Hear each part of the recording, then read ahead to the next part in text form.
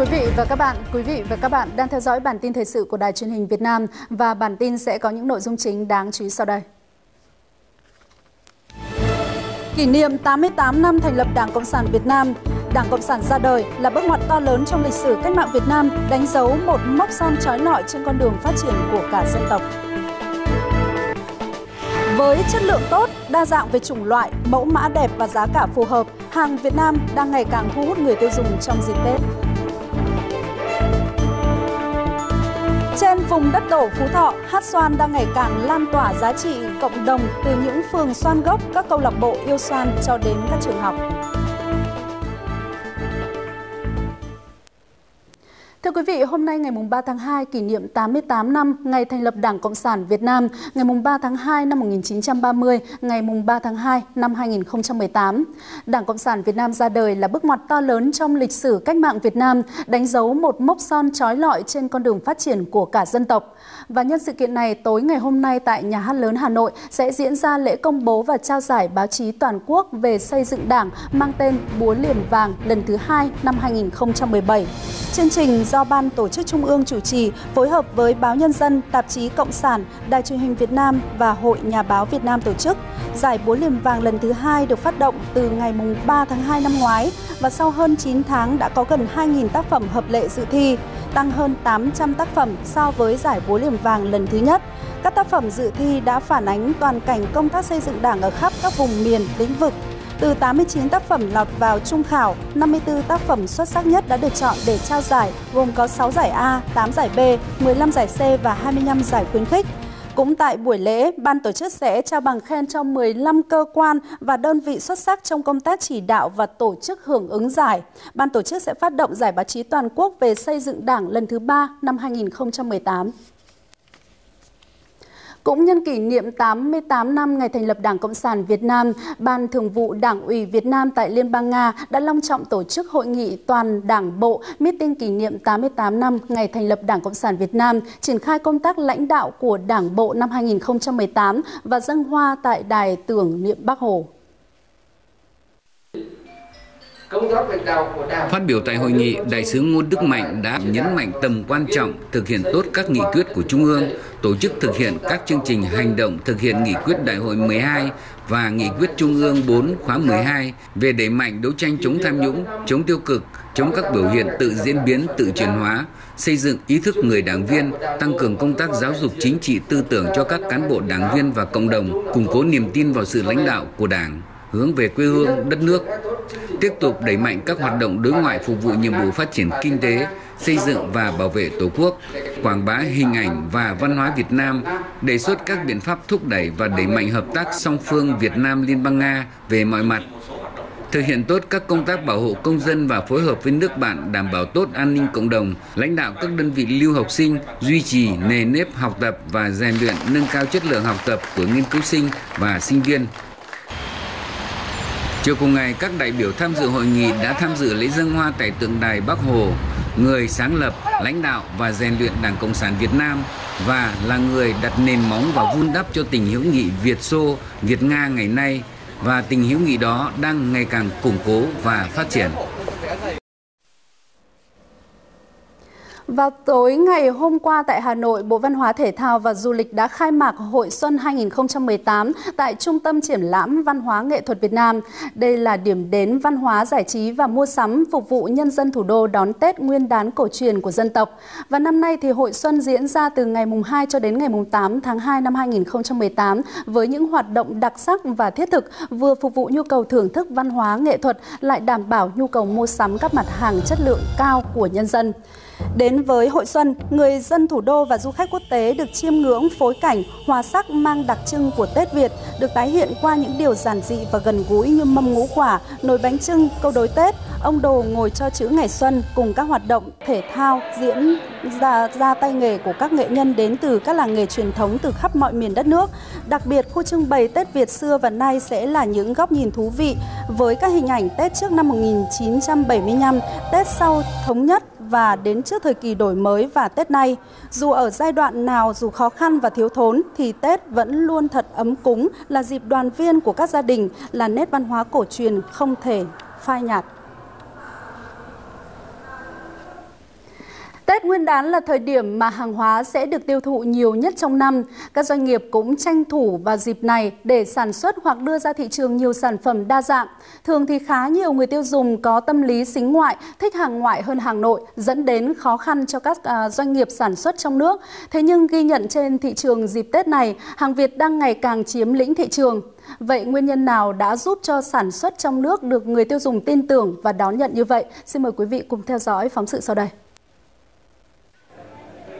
Dạo qua các gian hàng, tham khảo giá cả, bà B quyết định Tết năm nay sẽ chọn hàng Việt cho gia đình. Thói quen mua sắm vào dịp lễ Tết của gia đình đã có sự thay đổi rõ rệt. Gia đình của cô là chọn à, hàng Việt, vì hàng Việt năm nay là chất lượng à, nó tốt. Nó có những cái là nó phù hợp với gia đình của cô. Những quầy bán hàng Tết như thế này cho thấy hàng Việt luôn chiếm tỷ lệ. Quầy hàng nhu yếu phẩm luôn đông đúc người lựa chọn. Để tránh những hàng giả, hàng nhái kém chất lượng được nhập lậu, người mua sắm đang có xu hướng lựa chọn hàng trong nước để sử dụng vào ngày Tết Nguyên đán bởi những tiện ích mà hàng Việt mang lại. Chính yếu tố chất lượng, giá cả phù hợp đã góp phần định hướng lại xu thế tiêu dùng đối với hàng Việt. Mẫu mã rồi nó cũng phong phú với lại chất lượng nó là cho nên tôi chọn hàng Việt. Chẳng hạn như cái mấy cái ờ, hình ờ, ảnh này, này như ờ, mình muốn mua về thờ thần tài rồi là hàng nước ngoài nó không có, mình có, Việt Nam có cho nên tôi thích chọn hàng Việt cái đấy. Hàng Việt đã thuyết phục được phần lớn người tiêu dùng, cho thấy doanh nghiệp trong nước đã chịu khó lắng nghe người tiêu dùng, nắm bắt được thị trường nên người tiêu dùng tin tưởng đã tin hàng Việt Nam chất lượng cao. Tết Việt dùng hàng Việt còn thể hiện một tinh thần dân tộc, tinh thần yêu nước của người Việt Nam. Một số thông tin đáng chú ý khác sẽ có trong cụm tin vắn sau đây. Số vé máy bay phục vụ Tết Nguyên đán năm nay là hơn 5 triệu vé, tăng gần 10% so với năm ngoái và đến giờ thì vẫn còn một nửa chưa bán. Thông tin vừa được Cục Hàng không cho biết. Trong số này thì vé máy bay nội địa còn khoảng một nửa, số vé quốc tế còn khoảng 1 phần 3. Cục Hàng không cũng cho biết các hãng hiện đang tuân thủ nghiêm ngặt quy định về quản lý giá cước vận tải hàng không nội địa, không có hãng nào bán vé vượt quá giá trần. Từ nay đến hết 25 tháng 2, hãng hàng không quốc gia Việt Nam Vietnam Airlines sẽ nhận chở cành đào, cành mai dưới dạng hành lý ký gửi trên một số chuyến bay nội địa. Điều kiện là cành đào, cành mai này phải được buộc thành bó, có 3 bọc ngoài, mỗi hành khách cũng chỉ được mang theo một bó, mỗi bó không quá hai cành, không bao gồm chậu đất. Ngoài ra, hành khách cũng phải đăng ký vận chuyển trước giờ bay ít nhất 3 tiếng và phải được xác nhận chỗ ngồi, Đối với những loại cây cảnh khác, Vietnam Airlines chỉ chấp nhận vận chuyển dưới dạng hàng hóa theo đúng quy trình. Trong phần tiếp theo của bản tin, với những cách làm riêng của mình, huyện Mường Nhé, tỉnh Điện Biên đã đạt được những bước tiến quan trọng trong công tác quản lý dân cư, ổn định đời sống cho những người di cư tự do. Chúng tôi đến với thị xã Lóng Luông, huyện Vân Hồ, tỉnh Sơn La để cảm nhận vẻ đẹp giản dị và bình yên của vùng cao mùa hoa đào nở.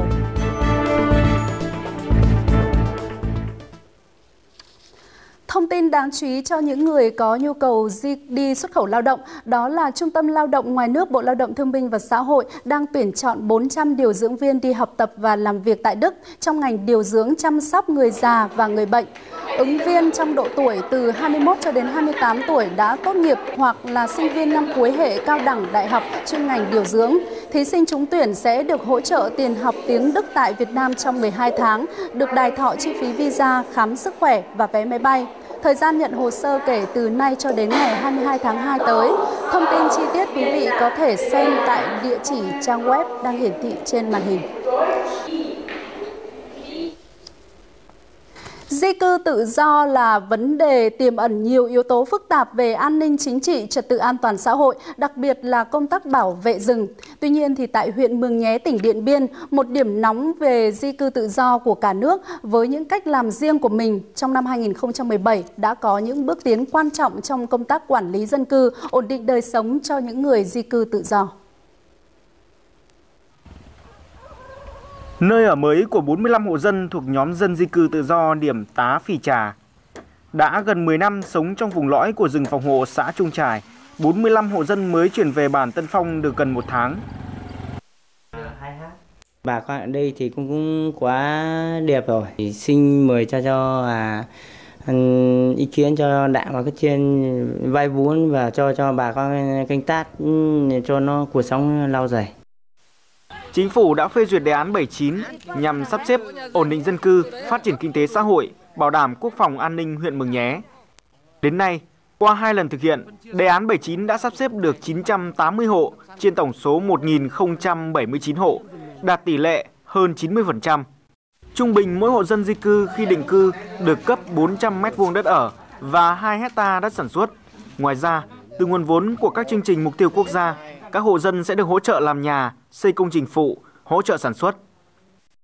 Để phát triển tập trung vào cái việc thực hiện các cái chính sách về xã hội như là giáo dục đào tạo, khám chữa bệnh uh, cho người dân uh, và uh, thực hiện tăng cường hơn nữa công tác về quản lý dân cư, quản lý địa bàn để thực hiện giữ vững được cái ổn định về an ninh chính trị.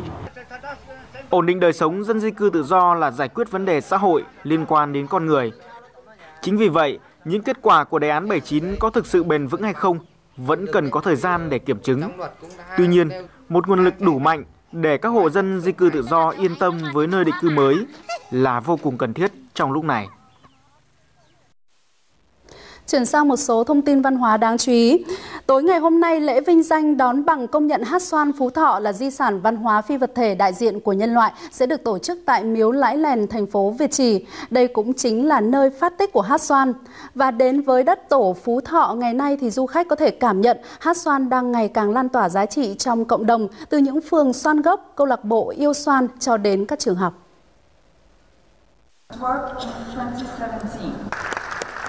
Khoảnh khắc này có lẽ vẫn còn vẹn nguyên trong tâm trí của những người yêu xoan.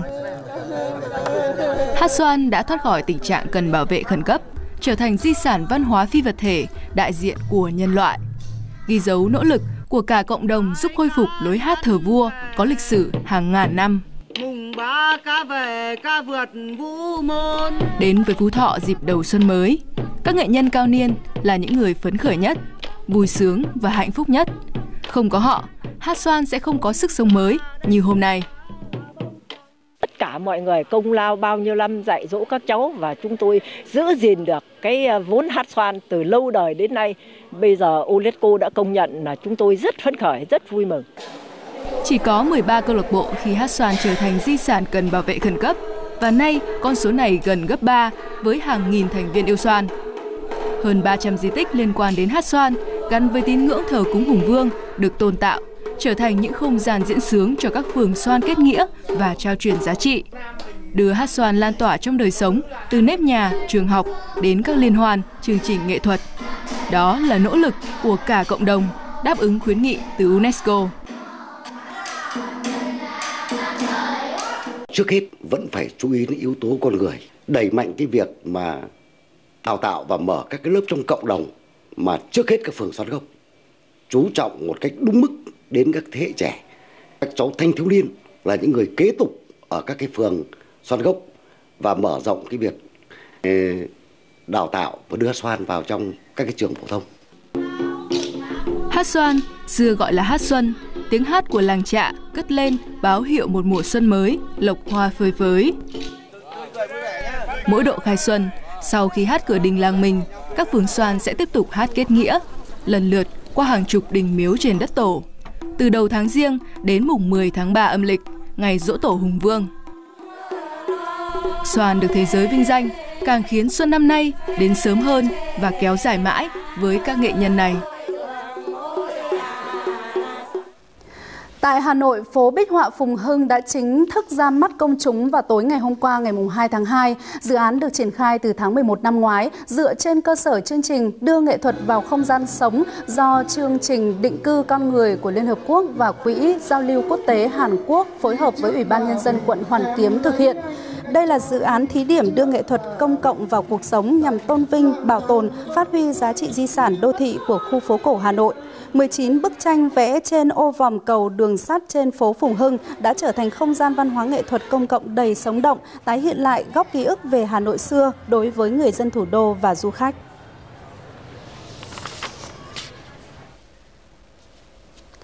Nằm trong hoạt động triển lãm tranh Tết thường niên và lấy cảm hứng sáng tác từ 12 con giáp, triển lãm tranh mang tên Tuất Dome 2018 vừa được khai mạc vào chiều tối ngày hôm qua tại Hà Nội. Triển lãm do nhóm họa sĩ G39 tổ chức nhân dịp chào mừng năm mới Mậu Tuất. Tuất Dome 2018 triển lãm hơn 100 tác phẩm, bao gồm tranh, tượng, đồ gốm, bằng nhiều chất liệu và các kích cỡ của gần 20 họa sĩ nhóm G39. Bên cạnh tranh vẽ với những chất liệu tổng hợp bột màu, sơn dầu, acrylic, xe giấy, còn có sự kết hợp của các tác phẩm tượng, đĩa gốm vuốt tay và vẽ độc bản trực tiếp tại hai làng gốm có lịch sử lâu đời là Hương Canh và Bát Tràng. Tinh thần chung của triển lãm là tạo nên một không gian nghệ thuật có đủ cung bậc cảm xúc để làm nổi bật hình tượng tuất, con giáp thứ 11 trong vòng tuần hoàn thập nhị địa chi. Tức là ờ, đã 4 năm rồi nhóm họa sĩ 39 ngồi với nhau và nghĩ ra cái ý tưởng tức là cuối mỗi một cái năm cũ thì làm một cái triển lãm về cái con giống ờ, của biểu tượng của cái năm mới. Cái triển lãm này thì cũng như thế, tức là như là chia tay năm dậu và đón năm Mậu Tuất 2018. Các tranh tượng gốm thể hiện con giáp này chủ yếu khai thác đặc tính của loài tuất là sự thân thiện, lòng trung thành bên cạnh vẻ ngụ nghĩnh, lém lỉnh, thay vì tả thực một cách chi tiết như thông thường. Tranh của tôi vẽ một đàn chó tinh nghịch thì gồm uh, các bạn nhìn vào bức tranh thì các bạn sẽ thấy là nhìn hướng nào, xoay hướng nào cũng thấy rất là nhiều chó, kể cả chó mẹ, chó con cứ chồng lên nhau đùa nghịch vui vẻ và tôi muốn đem lại uh, niềm vui cho mọi người khi nhìn vào bức tranh của tôi. Một số họa sĩ lại thể hiện tác phẩm của mình một cách trừu tượng, khiến cho người xem có cái nhìn phong phú, đa dạng về chú chó. Cũng vẫn là về con chó thôi nhưng mà có người thì uh, vẽ nhìn thấy là thấy rõ ngay nó um, rất là thực ra là con chó nhưng có những người thì lại vẽ một cách uh, uh, thể hiện nó một cách trừu tượng hả? Thì um, người ta hoặc là người ta có thể suy diễn ra có thể nghi, suy nghĩ ra ngẫm ngợi ra từ những bức tranh đấy những cái ý nghĩa khác nhau tùy thuộc vào cái cái góc nhìn cái phong văn hóa và cái cá tính của mỗi người và tôi cũng như thế tôi cũng nhìn thấy bức tranh những cái điều uh, những cái điều thú vị mà chỉ có mình có thể cảm nhận được thôi đặc biệt tại lễ khai mạc các họa sĩ còn trực tiếp vẽ tặng khán giả những bức tranh thể hiện mùa xuân mới như tranh về con giáp, tranh vẽ cỏ cây hoa lá hay các bức chân dung. Triển lãm sẽ được diễn ra tại Trung tâm Thương mại chợ Hàng Gia, số 1 phố Hàng Gia, Hoàn Kiếm, Hà Nội đến hết ngày 12 tháng 2 năm 2018, tức ngày 27 tháng Chạp âm lịch. Nếu muốn ngắm hoa đào khắp bản làng, chọn mua một vài cành đào cho Tết này thì tỉnh Sơn La chính là gợi ý dành cho quý vị. Và tối ngày hôm qua, lễ khai mạc Ngày hội Hoa đào huyện Vân Hồ đã diễn ra tại xã Lóng Luông, một trong những vùng trồng đào lớn ở Tây Bắc. Những cánh hoa đào đẹp mộc mạc nhưng đầy sức sống như chính cuộc sống tâm hồn của đồng bào các dân tộc nơi đây. Và trong phần cuối của bản tin, xin mời quý vị cùng chúng tôi đến với vùng đất này để cùng cảm nhận vẻ đẹp giản dị và bình yên của vùng cao mùa hoa đào nở. Mấy chục năm về ở với nhau, hễ thấy đào nở hoa là ông là lại ra vườn chặt vài ba cành để bày trong nhà. Với đồng bào giao ở bản Suối Lìn, nhà nào cũng phải có ít nhất một cây đào. Còn với bà Soan vợ ông là, bà đào còn là kỷ niệm một thời tuổi trẻ của cô thiếu nữ giao năm nào. Lúc uh, trẻ thì mình cũng hai ông bà nó mới tìm hiểu nhau thì cũng cùng nhau chụp ảnh với cái hoa đào ấy rất là đẹp. Cái hoa đào đến đến tháng riêng thì nó nở. Hoa thì mình đi chụp ảnh lấy thì nó còn đẹp lắm. Trước sân sau nhà trên nương cạnh bếp nơi nào cũng có bóng hoa đào. Khắp vùng Vân Hồ, hoa đào đã trở nên quá đỗi quen thuộc với bà con người Mông, người Thái mỗi mùa Tết đến. Quen thuộc đến nỗi, nhiều người không còn nhớ là cây đào già cạnh nhà có từ bao giờ. Ngày xưa ông già ông cổ trồng về mình mới à, lấy cái hạt nó trồng. Những cây đầu mà đầu quý đầy đầu quý là đầu to mình là mình để lại. À, mình giữ từ thời ông bà mình về rồi thế là mình cứ giữ để uh, mình còn ăn xong rồi còn đứa cháu lại được ăn tiết. Vân Hồ đang tưng bừng mở hội hoa đào lên Sơn La dịp này, người ở xa có thể tìm mua những cành đào trồng vừa ý, nhưng chắc chẳng thể nào mang về xuôi cái không gian mộc mạc đẹp đẽ của cuộc sống, của con người dưới những tán hoa đào.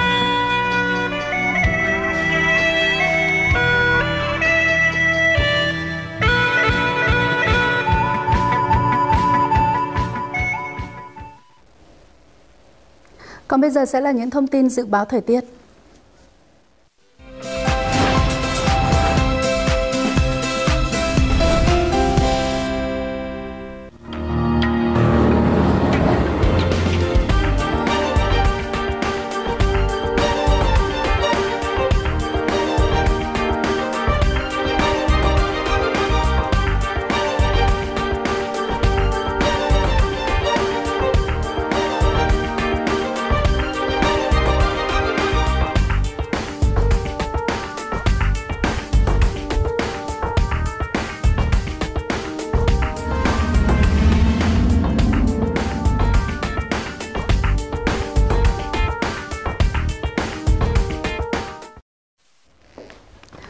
Đến đây thì bản tin thời sự trưa ngày 3 tháng 2 của chúng tôi cũng xin được kết thúc. Quý vị và các bạn cũng có thể theo dõi lại các chương trình của Ban truyền hình đối ngoại trên website vtv4.vn hoặc trên trang YouTube. Xin kính chào và hẹn gặp lại quý vị trong những bản tin sau.